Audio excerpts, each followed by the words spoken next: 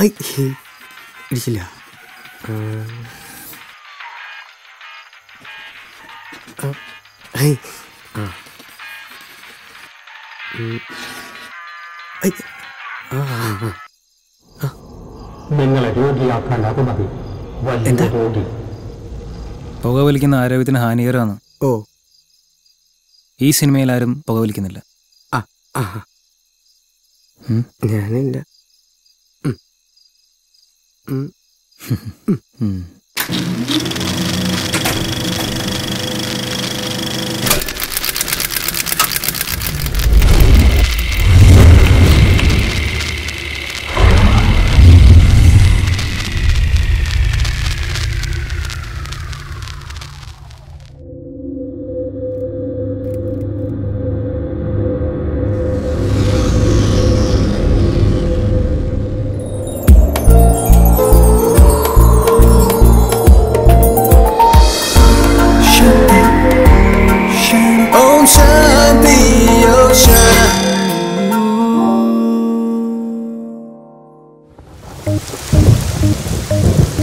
അതെ.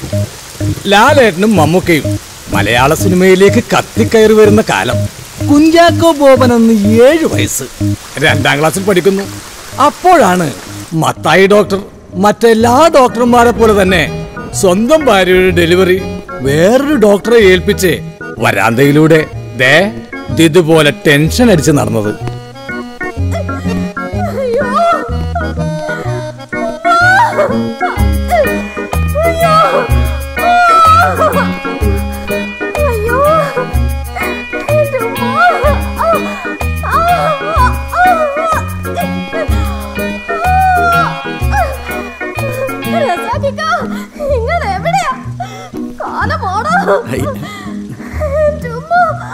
നിങ്ങളോട് ഞാൻ പറഞ്ഞതല്ലേ വേണ്ട വേണ്ടെന്ന്. ഗൾഫിൽ നിന്ന് വന്നത് ഇതിനാണോടാ കാലമാണോ നിങ്ങൾ ആരാ മത്തായി? ഞാനാ.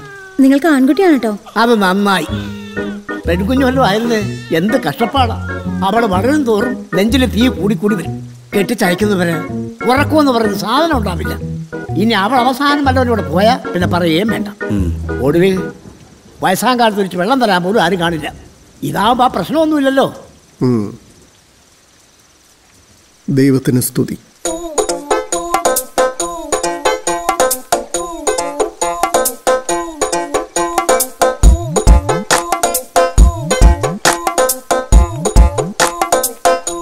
സോറി കേട്ടോ ഒരു മിസ്റ്റേക്ക് പറ്റിയതാ. നിങ്ങൾക്ക് പെൺകുട്ടിയാ.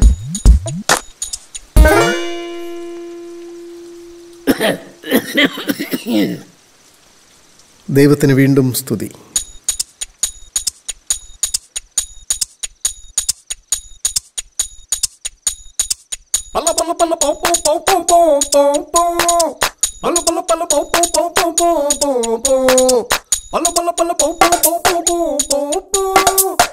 ഇത് ഇവളുടെ കഥയാണ്.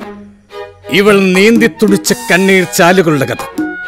ഇവൾ കത്തിച്ചു തീർത്ത നൊമ്പര തിരികളുടെ കഥ.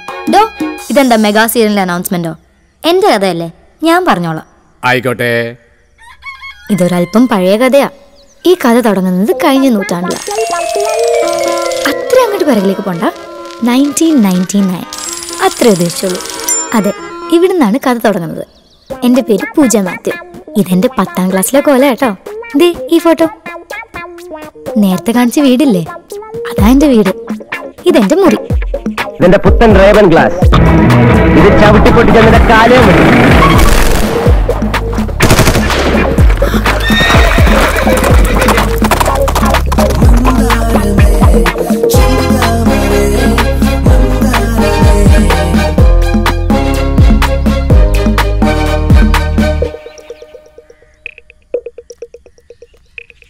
ഇതാ എന്റെ പപ്പ. മാത്യു ദേവസ്യ. നാട്ടുകാർക്ക് വേണ്ടപ്പെട്ട മത്തായി ഡോക്ടർ. ഞാനും അമ്മയും കഴിഞ്ഞിട്ടുള്ളൂ പപ്പയ്ക്ക് വേറെ ആരും.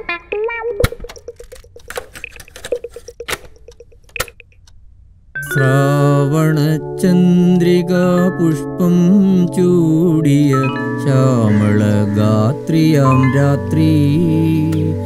നിന്റെ ചുരുൾ മുടി സ്വന്തമായിട്ട് പാട്ടുപാടി റെക്കോർഡ് ചെയ്ത് അത് കേൾക്കുന്നതാണ് മൂപ്പറുടെ ഹോബി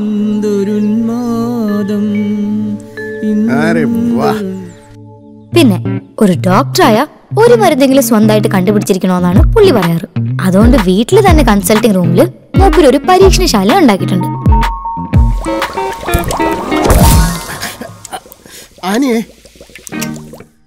അതെ ആനി. ഇതാണ് എന്റെ അമ്മ.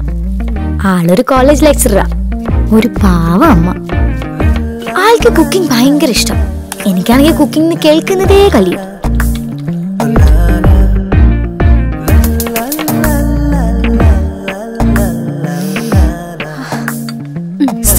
പുതിയ ഐറ്റംസ് ഉണ്ടാക്കി സ്വയം രുചിച്ചു നോക്കി നിർവൃതി അടയിലാണ് പുള്ളിക്കാരിയുടെ ഹോബി അരെ വാ? കാലടുപ്പിച്ച് ഞാനൊരു ആണായി ജനിക്കേണ്ടതായിരുന്നു. അമ്മ എപ്പോഴും പറയും. എടി പെമ്പിള്ളേര് ചൂളടിക്കത്തില്ല. പപ്പ പറയുന്നത് ഞാനൊരു ആൺകുട്ടിയെ പോലത്തെ പെൺകുട്ടിയാണ്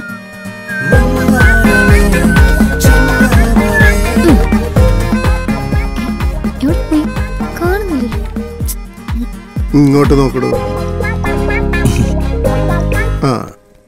അമ്മേ ഫുഡ്സ്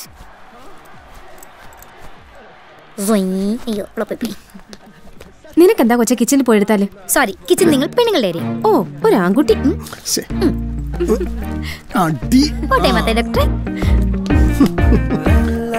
എന്റെ സ്കൂളിലെ പ്രിൻസിപ്പളിന് എന്നെ കുറിച്ച് നല്ല മതിപ്പാ മിസ്റ്റർ മത്തായിക്ക് ഞാൻ സ്കൂളിന്റെ അടുത്തൊരു വീട് വാടകയ്ക്ക് എടുത്തു തരട്ടെ? എന്തിനാ ടീച്ചറെ? അല്ല എന്നും ഇത്രയും ദൂരം ആ പഴയ വണ്ടി ഓടിച്ച് ഇവളുടെ പ്രശ്നം തീർക്കാൻ ഇവിടം വരെ വരണ്ടല്ലോ എന്ന് വിചാരിച്ച് ചോദിക്കുക വികാരി അച്ഛനും അതെ. ഈ നിൽക്കുന്നത് ആരാന്നറിയോ മത്തായിക്ക്? എന്റെ മോൾ. അല്ല അന്ത്യക്രിസ്തു അത് അന്ത്യക്രിസ്തു. അങ്ങനെ വലിയ മോശമില്ലാത്ത രീതിയിൽ തരികിടയായി പോകുമ്പോഴാണ് കുഞ്ചാക്ക് ബോബന്റെ നിറം റിലീസ് ആവുന്നത്.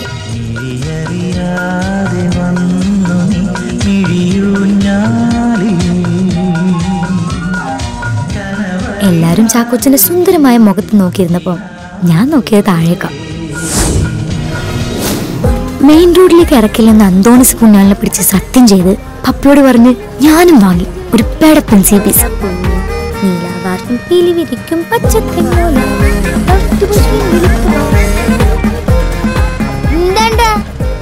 നീ എന്താ ബൈക്ക് ഓടിക്കുന്ന കണ്ടിട്ടില്ലേ? ഞാൻ ചിലപ്പം ബൈക്ക് ഓടിക്കും ഗിയർ ഇടും ദാ ഇങ്ങനെ കൈവിട്ട്!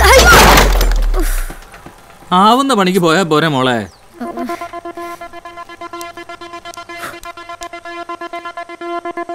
അന്നത്തെ വീഴ്ച കൊണ്ട് ഒരു കുഴപ്പമുണ്ടായി. ജൂലി ചേച്ചിയുടെ പെണ്ണ് കാണുന്ന എടുത്ത ഫോട്ടോയിൽ കാണാം. എന്റെ നെറ്റിയിൽ ഒരു bandaid.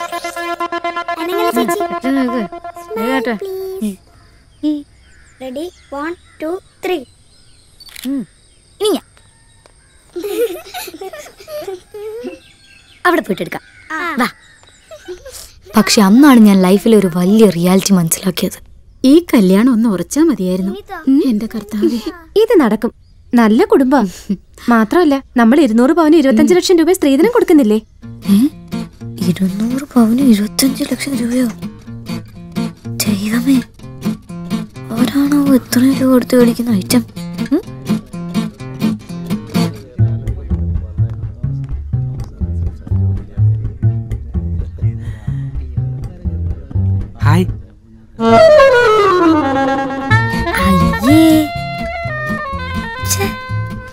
ജൂലി ചേച്ചിയുടെ ചെക്കനെ കണ്ടതോടെ എനിക്ക് ഒരു കാര്യം ഉറപ്പായി. പെൺകുട്ടികൾക്ക് കല്യാണ കാര്യത്തിൽ അങ്ങനെ അഭിപ്രായ സ്വാതന്ത്ര്യമൊന്നും ഇല്ലെന്ന്. ഞാൻ ഈ കാര്യങ്ങളൊക്കെ പറഞ്ഞു തന്നപ്പോ നിങ്ങൾ വിചാരിക്കുന്നുണ്ടാവും ഞാനൊരു നല്ല കുട്ടിയാണ്.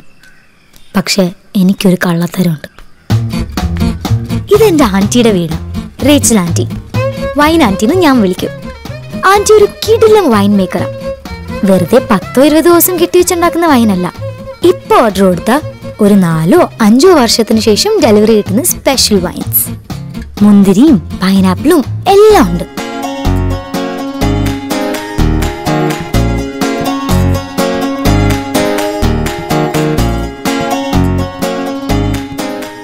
ആന്റി ഉണ്ടാക്കുന്ന എല്ലാ വൈനും ആദ്യം കുടിച്ചു നോക്കുന്ന ഞാനാ.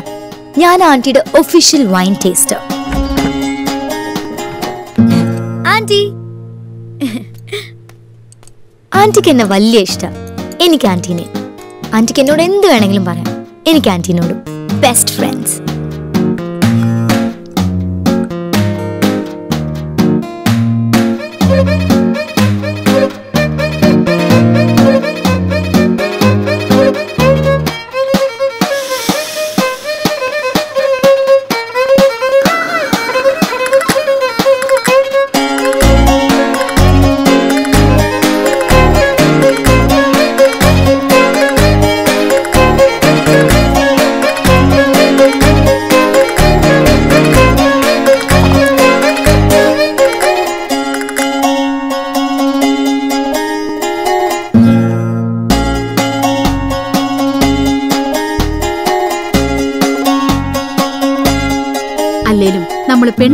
പെണ്ണുങ്ങളുടെ കാര്യം അത്രേ ഉള്ളൂ കാണാൻ എത്ര ഭംഗിയുണ്ടായാലും എത്ര പഠിച്ചാലും ഒടുവിൽ കല്യാണക്കാരി വരുമ്പോൾ വീട്ടുകാർ പറയുന്ന ഏതെങ്കിലും ആളെ കെട്ടേണ്ടി വരും. ആന്റി അങ്കിളിനെ കണ്ടുപിടിച്ചത് ആദ്യം നമ്മുടെ വീട്ടുകാർക്കൊന്നും പിടിച്ചില്ല. ഇപ്പൊ കണ്ടില്ലേ? എല്ലാവരും ഹാപ്പി. നമുക്ക് ഇഷ്ടപ്പെട്ട ആളെ കെട്ടുന്നതാ മോളെ നല്ലത്. ഇല്ലെങ്കിൽ പിന്നെ കെട്ടുന്ന ആളെ കഷ്ടപ്പെട്ട് ഇഷ്ടപ്പെടേണ്ടി വരും.